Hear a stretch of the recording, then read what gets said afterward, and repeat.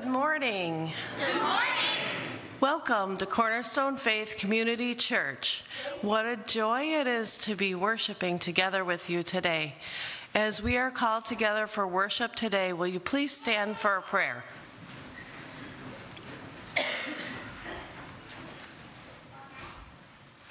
Heavenly Father, we thank you that we are able to be together in your presence again this morning. We thank you that you have awoken our spirits and brought us into your holy house once again. As we assemble here, may the words of our mouths, the meditations of our hearts, every movement and thought be worthy and honoring of you. For Father, you alone are worthy of all our worship and praise. We give you this time and ask you to send now your Holy Spirit to govern our time together. In Jesus' name we pray. Amen.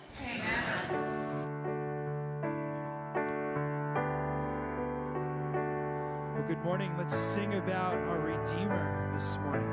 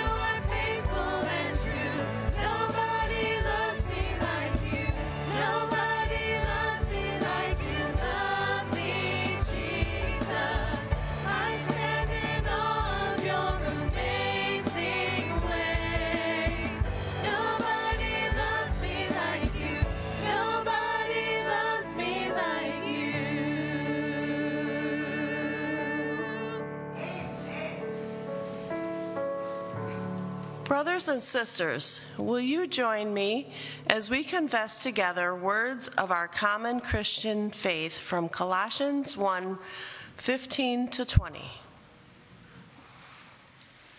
The Son is the image of the invisible God, the firstborn over all creation. For in him all things were created, things in heaven and on earth, visible and invisible, whether thrones or powers or rulers or authorities. All things have been created through him and for him. He is before all things, and in him all things hold together. And he is the head of the body, the church. He is the beginning and the firstborn from among the dead, so that in everything he might have the supremacy. For God was pleased to have all his fullness dwell in him, and through him to reconcile to himself all things, whether things on earth or things in heaven, by making peace through his blood shed on the cross.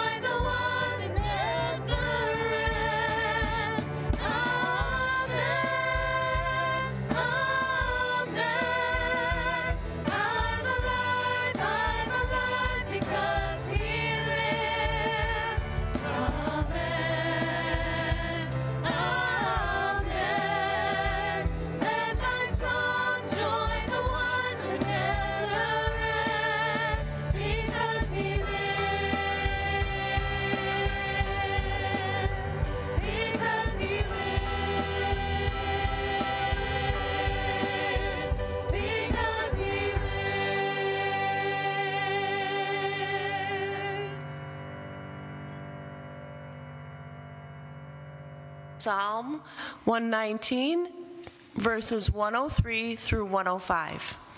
How sweet are your words, O Lord, to my taste, sweeter than honey to my mouth. I gain understanding from your precepts. Therefore, I hate every wrong path. Your word is a lamp for my feet and a light on my path.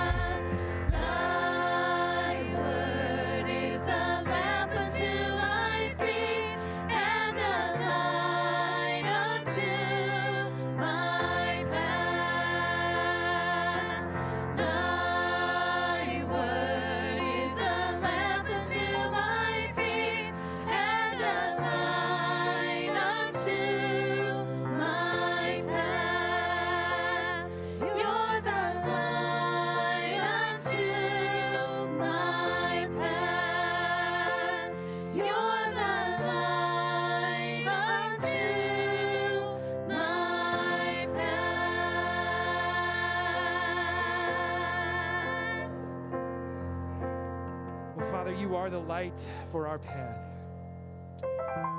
Lord, without you, we walk in a world of complete darkness. We have no light to lead us. But it is by you, it is by your word that we have wisdom, we have strength, we have counsel, we have guidance.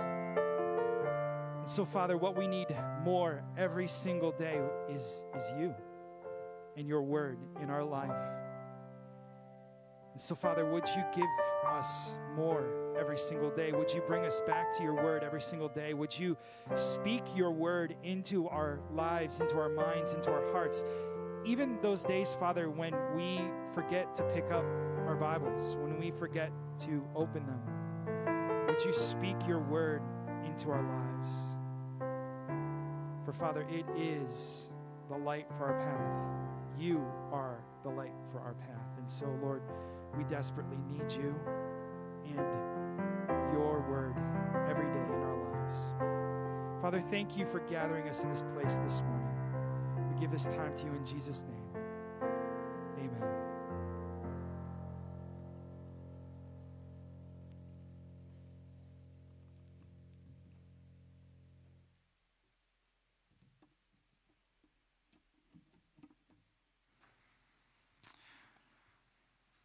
Well, good morning once again. And welcome to Cornerstone Faith Community Church. We are so glad that you have gathered us for worship, gathered with us for worship this morning. If you are here for Sunday school this morning, would you please make your way to the back of the sanctuary? Our teachers are ready to meet with you this morning.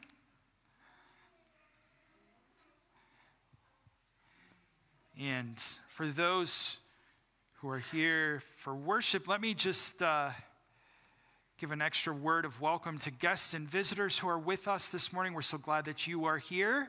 And let me share just a few things that are happening in the life of the church um, in the week or two that are coming up.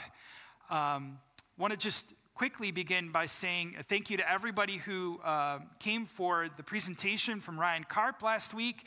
I hope that you guys enjoyed that time together with him. It was, I think, very informational. He's a fantastic speaker, as always, and so thank you for, for joining us. Uh, and uh, I know he very much appreciated your, your attentiveness and willingness to be here. Uh, we look forward to having him back again. Um, I believe he will be coming uh, sometime this summer uh, to fill the pulpit. Um, uh, at some point this summer as well. So that'll be exciting to have him.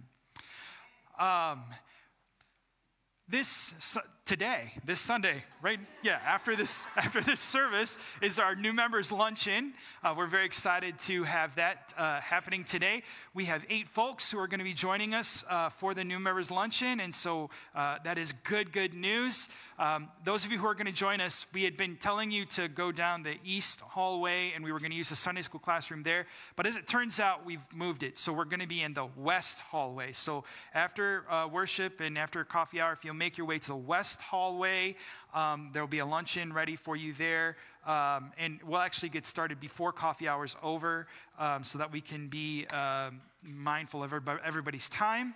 Um, but we look forward to meeting together with you today for that. Uh, this Wednesday, the 14th, is uh, yes valentine's day but it is also it also happens to be ash wednesday and the beginning of the lenten season. And so we look forward to meeting together with you for the beginning of our lenten dinner and discussion series. That happens every wednesday evening at 6 p.m uh, we start with a dinner um, home cooked dinner, and then we will have our, our discussion study time that will start about 6.45 6.50 if you are a, a, wednesday evening study person this takes the place of wednesday evening study for the lenten season.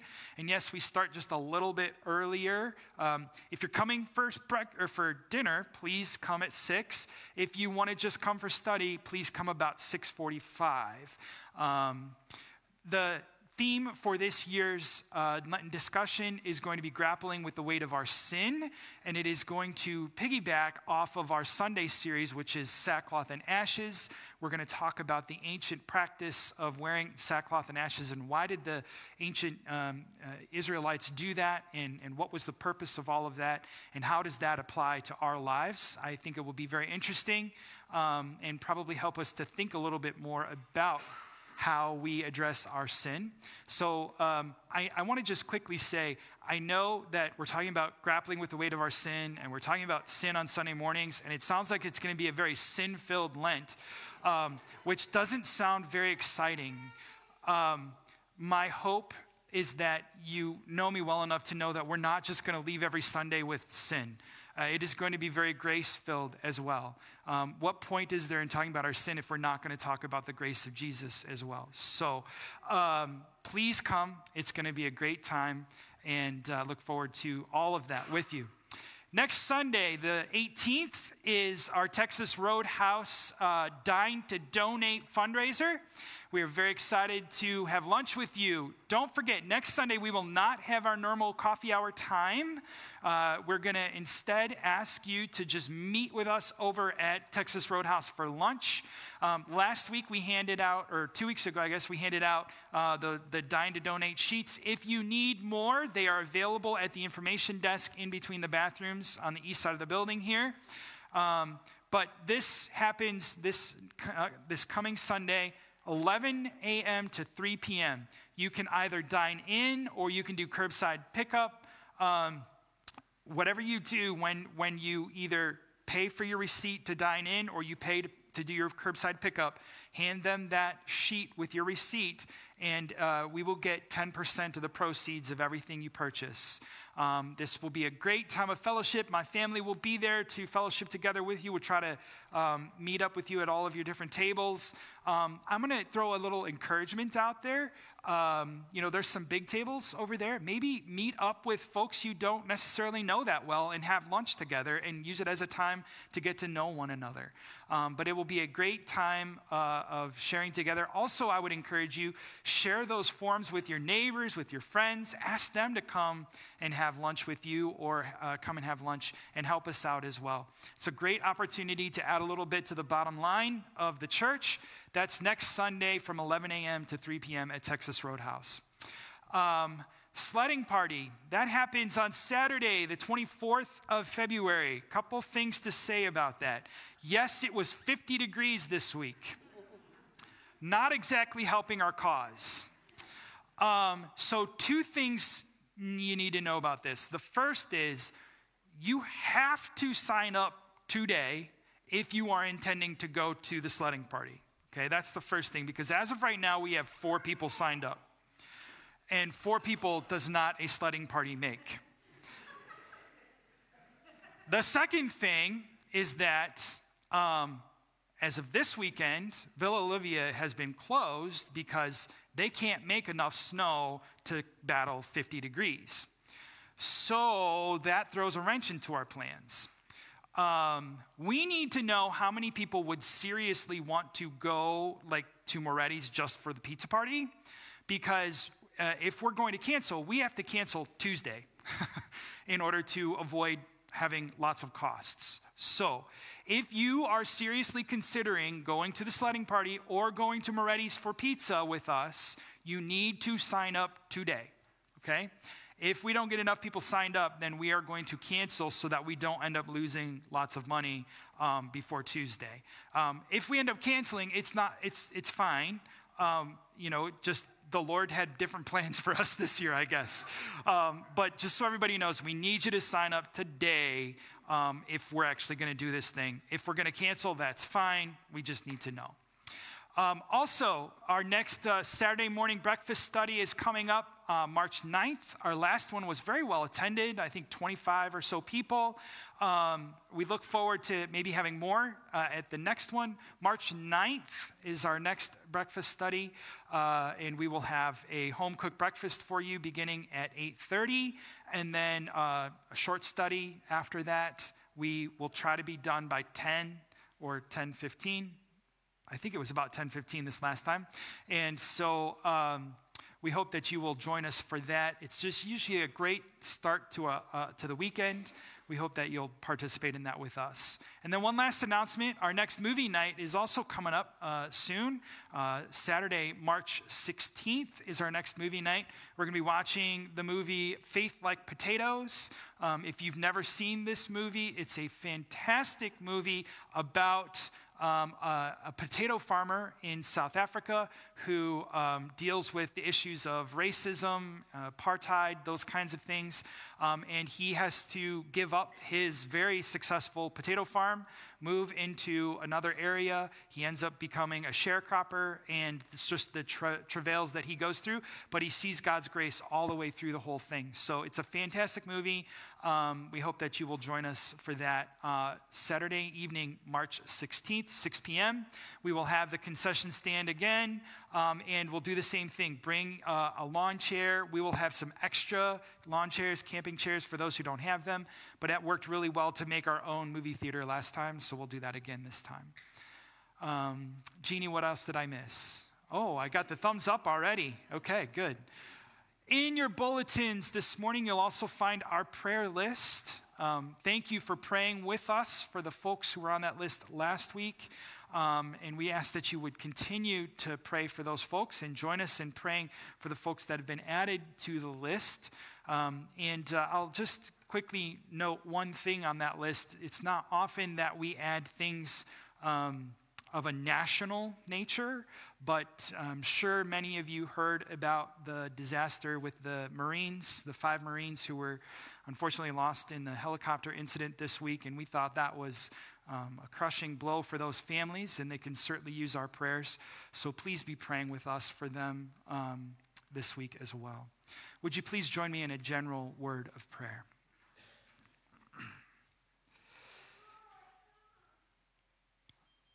Father, we do thank and praise you for the opportunity we have to gather together in worship today. Thank you for calling us together into your house. As the psalmist said, we rejoiced when the brethren came unto us and said, Come, let us go into the house of the Lord, that we might give worship and praise. Father, it is because of you and you alone that we are in this place. We come to give you all the worship and praise that you are due. But Father, we benefit so greatly by being here.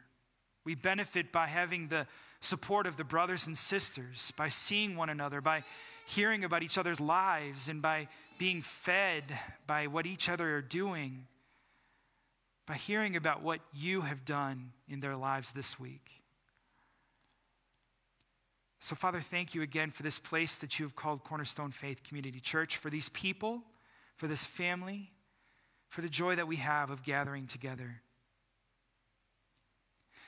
And Father, thank you for this great nation that we live in where we have the freedom to gather together. We don't have to gather in secrecy, we don't have to hide. We have the ability to gather together openly and worship you. Father, we have so much to be thankful for, so much that you have given us this week. You continue to provide for every need. Father, you have heard our prayers. You have healed those who have had surgery. You have continued to care for those who are sick. You have knit back together those who have been injured. And so, Father, once again, we come and we humbly kneel before you this morning with even more requests. We lay before you those who are sick, those who are injured, those who are grieving, those who have great need. Father, there are some who have material needs and some who have financial needs some who have emotional or spiritual needs, and other, Father, whose relationships are struggling. Father, in each and every one of these situations, would you come and hover over them? You, Lord, know what each and every one of these people needs. And so we ask that you would work in their situations that you provide for them, care for them, comfort and love them. And Father, that along the way you would draw them closer to you, that they would come to know you, that they would come to love you and honor you. And Father, this morning, as we draw near to your word, we hear about the wonderful words of life that you have given to us we are reminded that it is your word that keeps us on the right path. It is your word that causes our hearts to sing. It is your word that leads us so well. It is your word that gives us strength and encouragement. And so, Father, now as we turn open the pages of your word, as we hear once again the the letters of your word. Would you send your Holy Spirit that we would have your wisdom, your discernment, that these words would fall fresh on our hearts and in our lives, that we would hear once again the wonderful words of life that you have given to us. We ask all of this, Father, in Jesus' precious and holy name. Amen.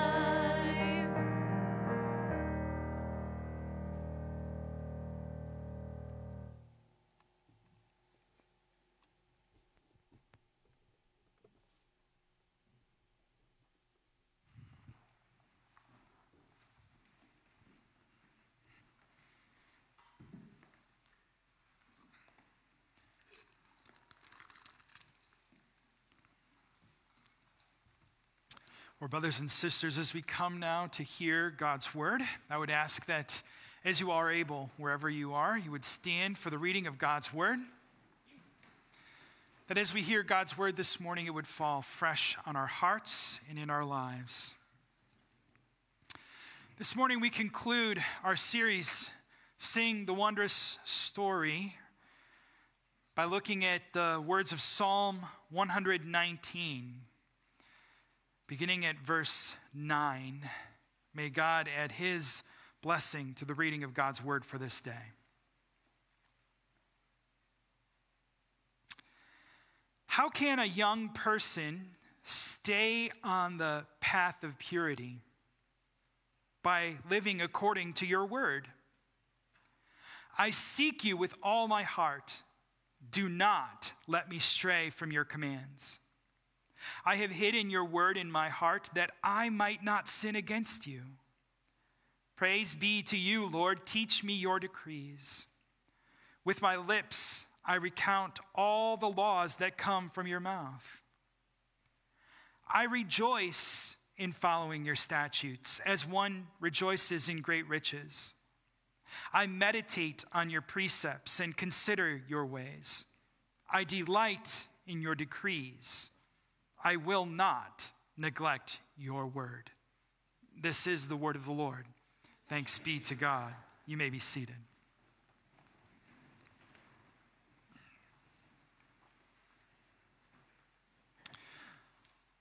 Well, brothers and sisters, last week I introduced you to Philip Paul Bliss.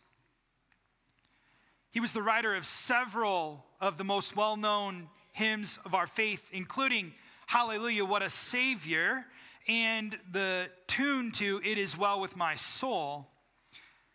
This week, we're going to conclude this message series, Sing the Wondrous Story, by talking about Philip Bliss one more time and another one of his beloved hymns, Wonderful Words of Life.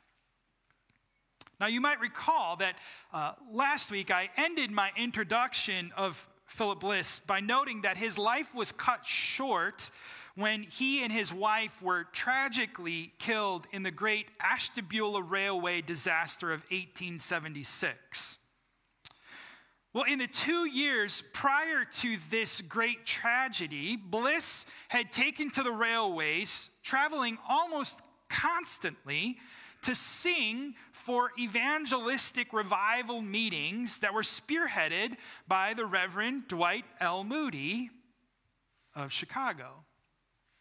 Bliss usually traveled on those trains with a man by the name of Major D.W. Whittle. Now, Major Whittle was renowned throughout the Midwestern and Southern states as one of the foremost evangelists and preachers that was associated with the evangelistic meetings of D.L. Moody. He was called Major because of his time serving in the 72nd Illinois Infantry during the Civil War. Among Major Whittle's most notable participations in the Civil War were the battle at Vicksburg and I think this is pretty cool. He rode just to the right of General William Tecumseh Sherman as they rode through and stormed the forces of Georgia. After the war, Major Whittle settled in Chicago and he went to work for this little clock factory called the Elgin Clock Company. He became acquainted with D.L. Moody by attending services at his Illinois Street Church. Eventually, Moody became aware of Major Whittle's profound gift for writing poetry, and he actually had a great gift for public speaking. And so, D.L. Moody strongly encouraged him to take on the career of becoming an evangelistic preacher.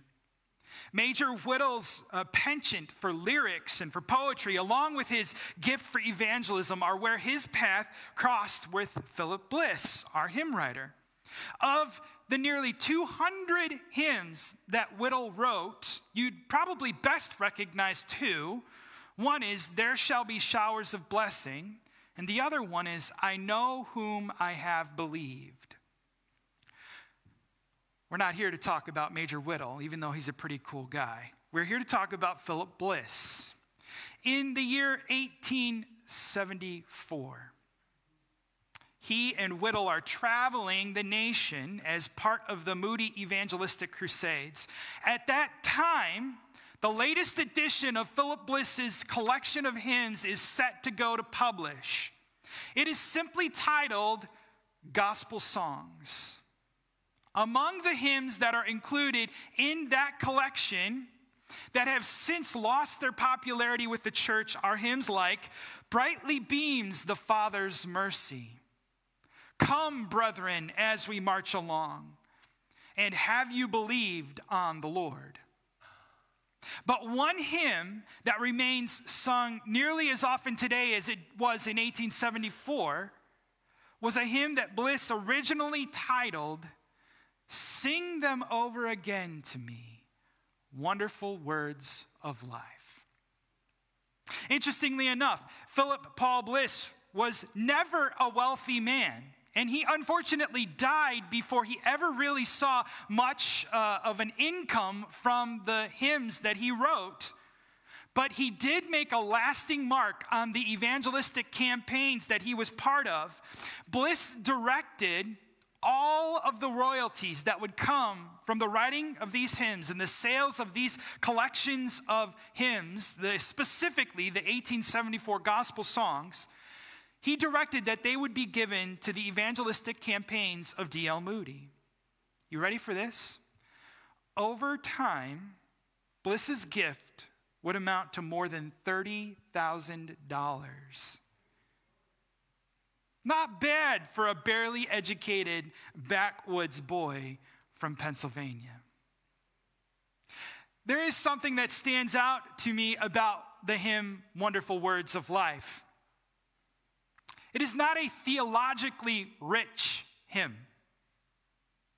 In comparison, for example, with a hymn like A Mighty Fortress is Our God, this hymn does not necessarily make us get out our Bibles and start researching topics like reconciliation or propitiation or righteousness or redemption or any of the other really hard to understand theological words. But that does not necessarily make this hymn somehow lacking theologically either. In fact, let's look again at just the words of the second verse of this hymn. Okay? It says, Christ, the Blessed One, gives to all wonderful words of life.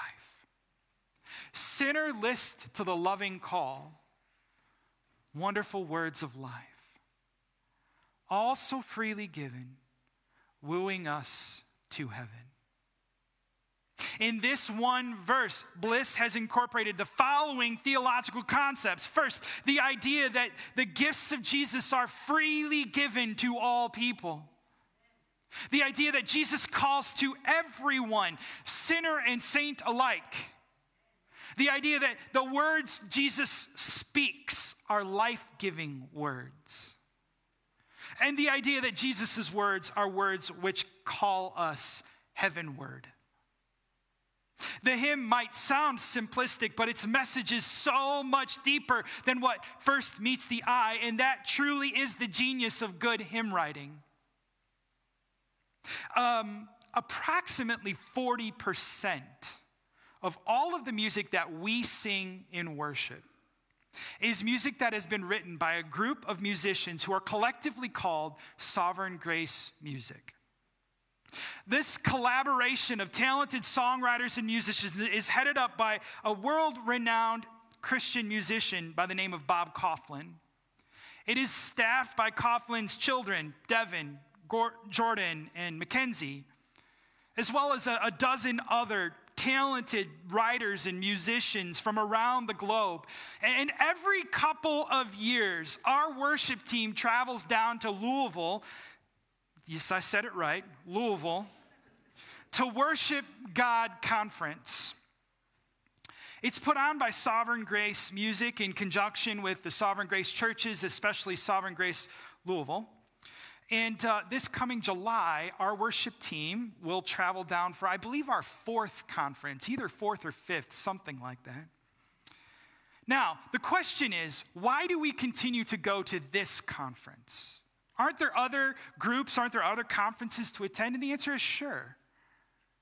But there are, there are two things about sovereign grace music that stands out to us. The first one is this they have this beautiful simplicity about the music that they write. Congregations can actually sing it. The second thing is that they have a theological commitment, a scriptural commitment. Just like Philip Paul Bliss, the folks at Sovereign Grace are writing music for the church that is easy for the church to sing, easy for the church to understand, and most importantly, clearly and simply communicates the truth of God's word. Why has a hymn like Wonderful Words of Life remained so popular for 147 years after its writing? Because it is just as true today as it was when it was written. And it is just as singable today as when it was written. God's word is still as wonderful today as it was in 1847. Those words are still as life giving today. They are still so freely given to everyone. I mean, sure, the way that we write music has certainly changed over 147 years, hasn't it? This hymn doesn't sound like a modern worship song, does it? But that's part of its beauty as well. This hymn speaks to us out of its history, out of its experience. What was true about God's word then is still true about God's word today. That's the reason that I've chosen to conclude this message series with this particular hymn. I mean, there are so many other hymns that I could have chosen for us to look at today. You probably have a list you wish I would have chosen. I've already heard from a number of you that you're hoping I'll do part two of this series because I didn't pick the right hymns. By the way, I will do part two at some point. But I'm going to conclude today with the wonderful words of life that are God's word. Truly, there is no other source of life for the believer's soul than God's word. Here's the thing do you need strength? Go to God's word. Do you need hope? Go to God's word. Do you need encouragement? Go to God's word. Do you need to be corrected? Go to God's word. Do you need to know that someone else understands the predicament you're in? Go to God's Word. Whatever it is that life throws at you, fellow believer, God's Word has something to speak to you, something to speak into your life about that moment in your life. Now, if you are a seasoned saint, see, that's a really nice way of putting it, right? If you are a seasoned saint, that statement doesn't come as a surprise to you. You've lived that truth your whole life. You've experienced over and over and over again the joy of running back to God's Word in life's most difficult moments. But for some of us who are less seasoned, for those who are maybe even just beginning this journey, it might seem hard to believe. How can it be possible? How can it possibly be that God's word can speak into every moment of my life? Well, for starters, the writer of Hebrews reminds us that the Word of God is living and active. It is sharper than any double edged sword. It penetrates even to dividing the soul and the spirit, the joints and the marrow. It judges the thoughts and the attitudes of the heart. Paul, in his letter to Timothy, encouraged Timothy to cling to God's word by saying that all of Scripture is God breathed and it is useful for teaching and rebuking and correcting and training up in righteousness so that the servant of God may be thoroughly equipped for every good work. In wonderful words of life, Philip Bliss suggested that God's wonderful words teach us faith and duty. They woo us to heaven. They sanctify us forever. These are absolutely life giving characteristics of God's word. And more than this, we can turn to our text for today. The second movement of the longest chapter in Scripture, Psalm 119. And we can find that the psalmist agrees with the writer of Hebrews, with Paul the Apostle, with Philip Bliss on the versatility and the life giving function of God's Word. So this morning, I'm going to offer to you three ways. Three ways that God's Word, God's wonderful words, offer us life. Here's the first one God's Word sets my life on the right path. God's word sets my life on the right path. I want you to listen again to the first verse, I'm sorry, verse 9 of Psalm 119. Verse 9 of Psalm 119 says, How can a young person stay on the path of purity? The psalmist answers that question by saying, By living according to your word. Now, surely, though the psalmist speaks here of young people, the truth is applicable to every age. The path that leads to destruction doesn't discriminate based upon age, young and old alike, right? If we want to take the righteous path, we should follow the Word of God. William MacDonald put this verse into the context of a young man's life by saying, One of the most crucial problems in the life of every young man is how to keep pure. The answer is practical obedience to the words of the Bible. And that's true enough. Though, if social media is any evidence today, it isn't just young men who are vulnerable to the path of impurities. God's word is the perfect partner for anyone who needs to find their way. Or, maybe we should say it this way God's word is the perfect partner for everyone who needs to find their way back to God's path. In the first eight verses of Psalm 119, which we didn't read this morning, the psalmist was intent on keeping the laws of the Lord. Verse 8 in particular was a bit of a plea on behalf of the psalmist. He says, I will obey your decrees, do not utterly forsake me. In other words, the writer here is attempting a, a deal of sorts with God. I'll do what you've told me to do, just don't forget about me. The very idea that the psalmist would be able to do what God has told him to do suggests that the psalmist is somehow aware of what it is God has said to do. The psalmist knows the wonderful words of God, and so he claims, anyways, that he will do his very best to do whatever it is God has said to do. As the second movement of this longest chapter of the Bible opens up, verse 9, the psalmist continues this thought from verse 8. But now he asks this question So, how do I actually go about doing that? How does a young person actually stay on that path of purity? How does one actually go about doing what God requests of him? Well, the answer seems very obvious to the psalmist by living according to your word. So, what's more, then, at the end of this psalm, the psalmist re- is, reiterates this intention by suggesting that he's going to find three ways. In fact, he doesn't have to find them, he knows three ways that he can live according to God's word. I rejoice in following your statutes, I meditate on your precepts, and I delight in your decrees.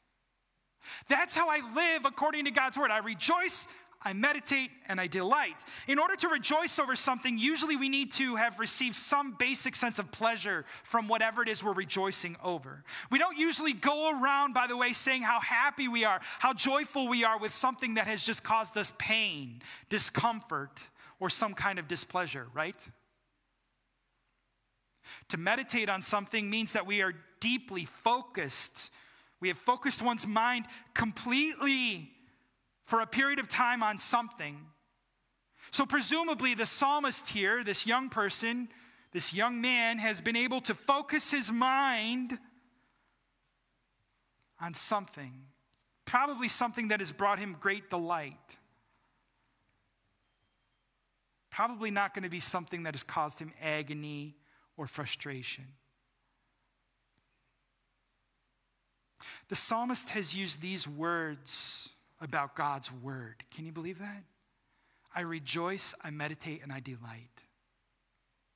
Now, let, you remind, let me remind you that presumably this psalmist here is a young person, presumably a young man. Can you create in your own mind a scenario under which today a young man might be heard saying, Hey, I rejoice in following God's word?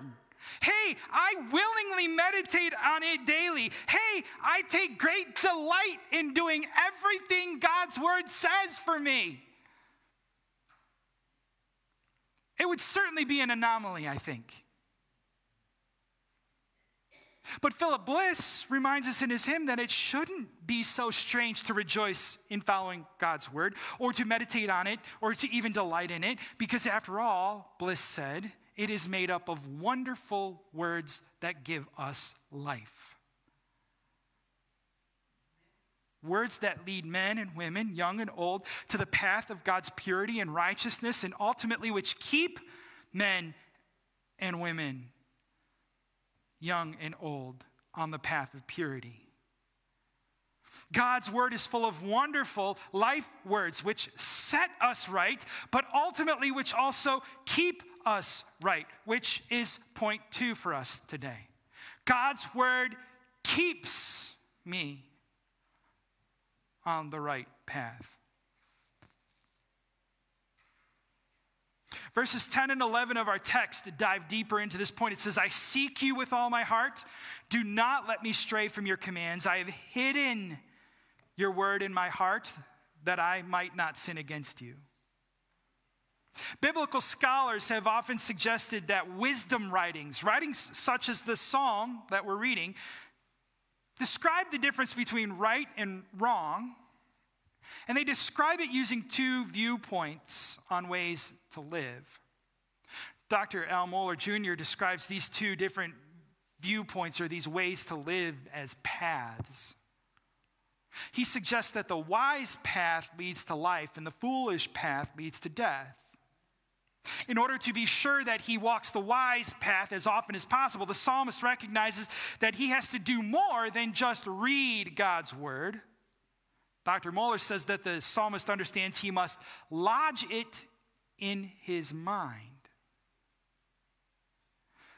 and soak it in his heart in order to bear the ripe fruit of wise living.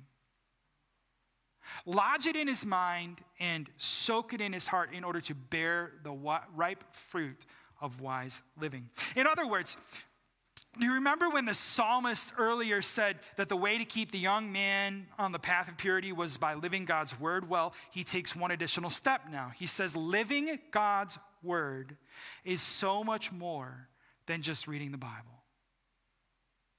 Living God's word has to do with what happens when your entire being is steeped in God's word.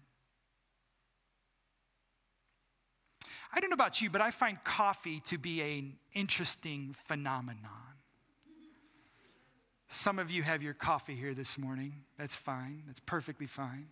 For all intents and purposes, coffee is, not, coffee is nothing more than just hot water that has been passed through a bunch of crushed up beans. The beans themselves, by the way, are bitter.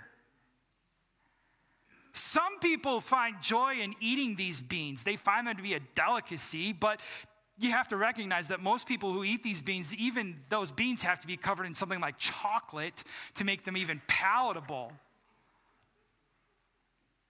However, when the coffee beans are roasted and then they're ground up into a pulp and the hot water is passed over them, there's this resulting liquid that can be quite pleasing to the taste buds. But what is required for the resulting liquid to be pleasing? Well, the hot water must be completely steeped into the beans. Did you catch what I said? The hot water has to be completely steeped into the beans. We so often say that we have steeped our coffee beans in hot water, or we have steeped our tea bags in hot water in order to produce tea or coffee. But we're actually not concerned with the beans or the leaves, are we? We're concerned with the water. And the water must be completely transformed completely covered in whatever the bean or the leaf can produce. That's what Dr. Mohler meant when he described the psalmist's words as hiding God's word in our heart. God's word must lodge and soak in the heart. Even this idea of hiding God's word in our hearts seems backwards to us because usually, if we want to share something, we don't hide it, right? If it is so advantageous, why would we hide it? But in this case, hiding doesn't mean to keep it away from someone, it means to put it in a place of great importance and protection. Why would the psalmist give God's word such a prominent place? Why would he be so careful to find such a special place to keep God's word in his heart where it would be protected and always at the ready? Well, verse 11 is the answer to that. It says, That I might not sin against you. In other words, that I might stay on the right path with you. God's wonderful words of life absolutely set us on the right path, but they also keep us on the right path. Without them, we are prone to wander aimlessly. The third point for this morning, then, is this God's word helps me to help others to get right with God and stay right with God. God's word helps me to help others to get right with God and stay right with God. In Bliss's hymn, Wonderful Words of Life, there is a great sense of universality. These wonderful words of life are absolutely for me, but they aren't just for me, they are also for you, and they also for well, they're for anybody who would be willing to listen. It should come as no surprise that Bliss and his text would be so inclusive. After all, he was primarily writing hymn texts for evangelistic revival meetings. Now, those are three words that we Northerners don't usually put in a sentence, but you get south of the Mason Dixon line, and we hear them a lot, right? His greatest desire was to see as many people as possible, one and all, come to know the Lord. So it is fitting that he wrote lines such as Christ, the Blessed One, gives to all wonderful words of life. And sinner, list to the loving call, offers of pardon and peace to all, wonderful words of life. And that is how God's word is supposed to work. We get it, we gain from it, we cherish it, we thrive on it, and we protect it, but we never hoard it. It's probably the only gift we've ever been given that there's an expectation that we will re gift it. God intends for others to gain from His word through you as much as he expects you to gain from his word. Perhaps this was in part Bliss's motivation because of his mentor, Dwight Lyman Moody, who was singularly convinced that God's word was all that we needed for every instance of our lives. D.L. Moody once wrote, Here then is our guidebook, our textbook, the Word. If I utter a syllable that is not justified by the Scriptures, don't believe me. The Bible is the only rule. Walk by it and it alone. Other than the Reverend Billy Graham, I doubt there was any more successful evangelical preacher in the United States than D.L. Moody. His revival meetings and crusades proved opportunity, provided opportunities for thousands to come home to the Savior Jesus Christ, both here in Chicago, at the Illinois Street Church, later at the Moody Tabernacle, and throughout the Midwestern and Southern states. The reason that Moody and, and Major Whittle and, and Philip Bliss and Franny Crosby and Dr. George Root and all of these folks found such great success in their evangelistic endeavors because they were convinced that there was no more important task in all of this world than helping other people get on the right path and stay on the right path with God. They were equally convinced that there was only one thing that could make this possible a deep devotion to God's word. So, the final verse of Wonderful Words of Life calls us to sweetly echo the gospel call with wonderful words of life. What is the gospel call? I want to borrow a phrase from Major D.W. Whittle, that other guy we talked about this morning, that traveling partner and colleague of Philip Bliss. In his hymn, I know whom I have believed. He asks, Do you know whom you have believed? Here's one verse of Whittle's hymn I know not how this saving faith to me he did impart, nor how believing in his word wrought peace within my heart. But I know whom I have believed, and am persuaded that he is able to keep that which I've committed unto him against that day. Can't you just imagine the numbers of men and women who came to those revival meetings? They heard Whittle and Moody speak, and they sang the hymns that Crosby and Bliss and Whittle, and they were actually living this very sentiment. They said, I can't quite understand how it is exactly that God gave me this saving faith, or how it is that believing in His wonderful words of life have actually brought peace to my heart. I can't quite understand why it is that God actually gave me this, but this much I do know. The one thing I actually know I know who it is I have believed. And I am con- completely convinced by God's word that He is more than able to keep me on the right path until that day when He comes back for me.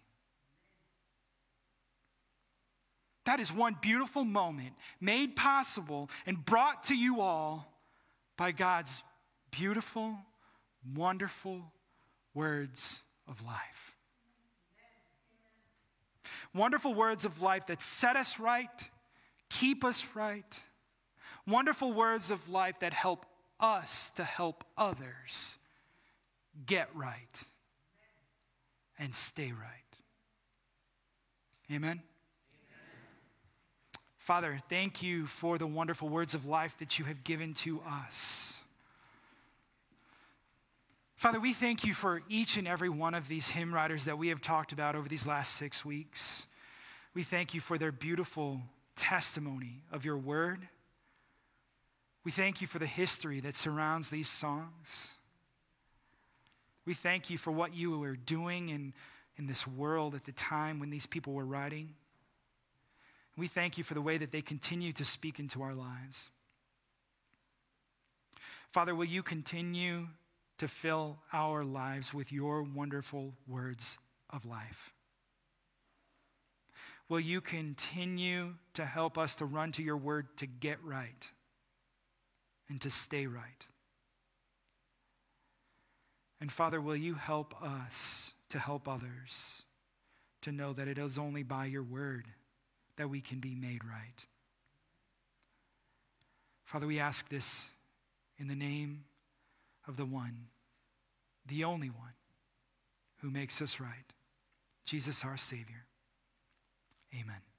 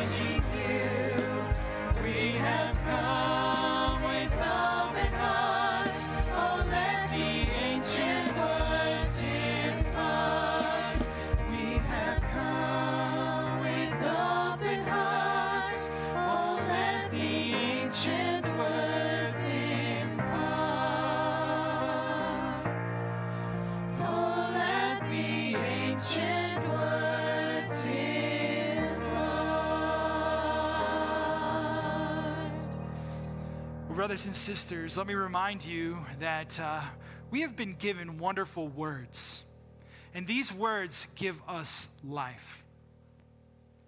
You need strength? Go to God's Word. You're looking for hope? Go to God's Word.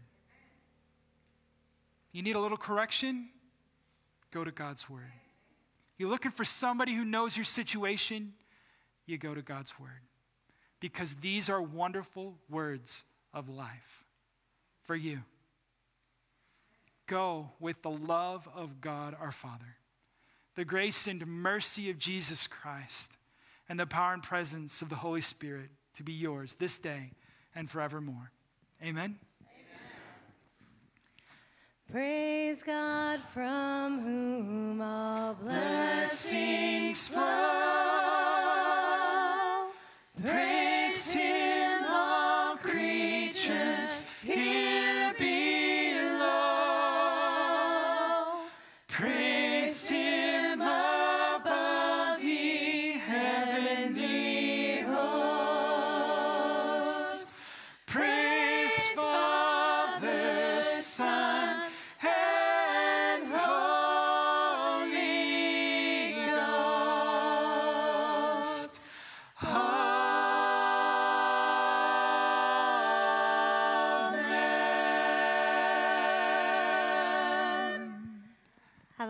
Wonderful week, everybody. We'll see you next week.